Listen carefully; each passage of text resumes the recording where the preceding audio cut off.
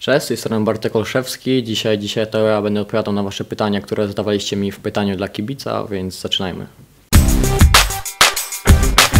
Witam Bartek, ja się uczyłem w Suwałkach i w Wigrach. Ile, ile lat jeszcze będziesz wygrał w Wigrach i jak myślisz, kto wygrał Ligę Mistrzów i Ligę Europy? I czy będzie awans do Ekstraklasa, Ekstraklasy? Jak myślisz, kto wy- wygra Puchar Polski i Super Puchar Polski? Mm, No to w Sławkach czuję się bardzo dobrze. W zasadzie znam po części już to miasto, taki ten klub, bo co młodego tutaj jakby trenowałem i, i też często wpadałem tutaj do Suwałk. No więc bardzo dobrze się czuję, tak? Ile lat jeszcze będę grał tutaj, to tak naprawdę ciężko powiedzieć, bo podpisałem jak na razie dwójpółroczny kontrakt, więc tego na razie trzymajmy, tak? Jak myślisz, kto wygra Ligę Mistrzów? Byłem, byłem na początku za, za Barceloną, niestety niespodziewanie odpadli, więc teraz jestem za, za Liverpoolem. E, Kto wygra Ligę Europy? To w zasadzie tu, tu, tu nie mam jakby jakiegoś swojego faworyta. Mam nadzieję, że, znaczy mam nadzieję, myślę, że wygra Atletico Madryt. I czy będzie awans do ekstraklasy? To tak naprawdę wszystko zależy od nas, tak? Od tego, jak będziemy wyglądali w danym meczu. Na pewno my jako piłkarze dołożymy wszelkich starań, żeby, żeby, żeby ten awans był, tak? No i wszyscy w to bardzo mocno wierzymy. A co będzie, to, to czas pokaże. I jak myślisz, kto wygra Puchar Polski i Super Puchar Polski? No myślę, że, że te trwała wygra, wygra Legia Warszawa zdobędzie. Witaj, jak się czujesz Olsi w suwalskich wigrach? Powodzenia Tobie życzę i jakich muzyk słuchasz? Ja polecam Ci Roy Jones, Can't Be Touched. No, no to w zasadzie tak jak już mówiłem, w Suwałkach, w Suwalskich Wigrach czuję się bardzo dobrze. No, no tak jak powiedziałem, że jakby tu za, za młodego tu już jakby przebywałem, tak?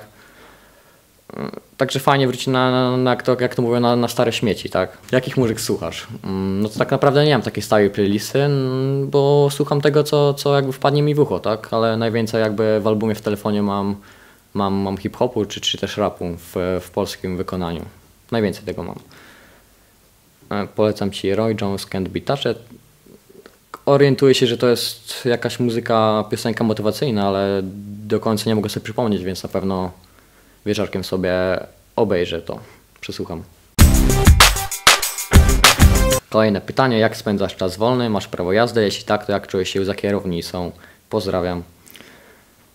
E, No to w czasie wolnym lubię, lubię odpoczywać, tak? Regenerować się po, po treningach ciężkich. E, Lubię też spędzać czas ze znajomymi, ale niedawno kupiliśmy nowego pieska w rodzinę, szczeniaka, więc, więc tak naprawdę teraz jemu poświęcam tak jakby na- najwięcej, najwięcej tego wolnego czasu. Masz prawo, je, masz prawo jazdy? Jeśli tak, to jak czujesz się za kierownicą? Eee, prawo jazdy dostałem w zasadzie w grudniu zeszłego roku. Jak się czuję za kierownicą, to wydaje mi się, że, że dobrze. No miałem tam parę epizodów związanych z, z, z wypadkami drobnymi, więc, więc uważam, że człowiek uczy się na błędach, ale już teraz czuję się dosyć, dosyć pewnie na ulicy. Masz rodzeństwo? Mam, mam rodzeństwo, mam, mam, dwóch, mam dwóch braci. Jeden, jeden jest młodszy o dwa lata i nazywa się Paweł, a, a jeden jest e, starszy o dwa lata i nazywa się Tomek. Co lubisz jeść? Pozdro. Eee, to, to po- nie tak samo podobnie jak z muzyką, nie mam jakby takiego stałego, stałej diety, natomiast staram się, się jeść zdrowo, tak, jakieś na śniadanie zazwyczaj jest to albo, albo owsianka, albo, albo jakieś jajka, Eee, a na obiedzie przeważnie są to jakieś makarony, ryż, ryż czy też, czy też kasza, tak. A jeżeli mamy jakiś wolny, wolny dzień, gdzie możemy, gdzie możemy pozwolić sobie na coś takiego mniej zdrowego, to, to wtedy sięgam zazwyczaj po pizzę. Pozdro. Witam Bartek. Ile godzin snu potrzebujesz, aby optymalnie się wyspać? Pozdrawiam. E, witam. Ile godzin snu potrzebuję? To myślę, że taką optymalną ilością godzin, którą potrzebuję, aby się wyspać, to jest minimum, minimum 9 godzin. Wiadomo, nie zawsze udaje się dotrzymywać tego, tego, te, tej ilo- ilości, bo wiadomo, to jakieś wyjazdy czy, czy też inne, inne sprawy, ale zazwyczaj udaje mi się wysypiać na co dzień. Jak grało się w Legii? No to tak naprawdę na to pytanie mógłbym, to pytanie mógłbym bardzo rozwinąć, ale w skrócie no to bardzo dobrze, no bo w Legii, w Legii tak jakby spędziłem 5,5 roku. bardzo dużo im zawdzięczam, bo tak naprawdę u nich nauczyłem się tych postaw techniczno-taktycznych na boisku. Poznałem tam wiele wspaniałych osób, czy też, czy też zawodników i, i tych wspomnień jest naprawdę bardzo dużo. Więc, więc ogólnie bardzo dobrze wspominam ten czas. Jak którą ręką słodzisz cukier?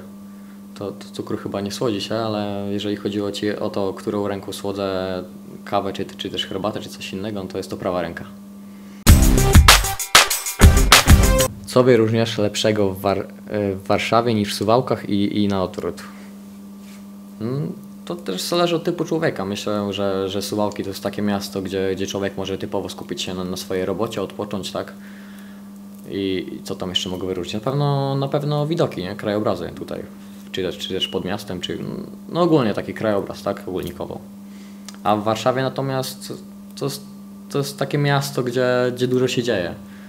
Jest tam wiele perspektyw, nie wiem, czy, no, czy to na jakieś spotkania, czy, czy, czy, czy też na jakieś inne, inne fajne, fajne sprawy, tak? Natomiast tam bardzo szybko czas, czas płynie, ale i to, i to jest w zasadzie niefajne.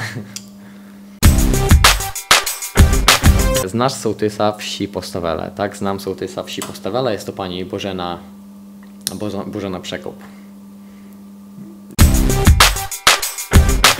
Jak się czujesz taki młody w pierwszym zespole Pozdro?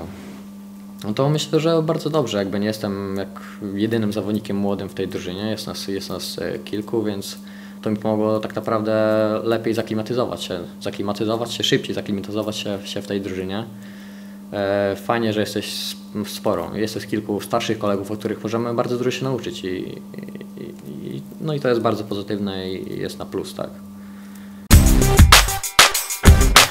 E, Dziękuję za, za zadane mi pytania. Myślę, że, że podołałem wyzwaniu i ko- kolejnym uczestnikiem w pytaniu dla kibica będzie Mateusz Żyro.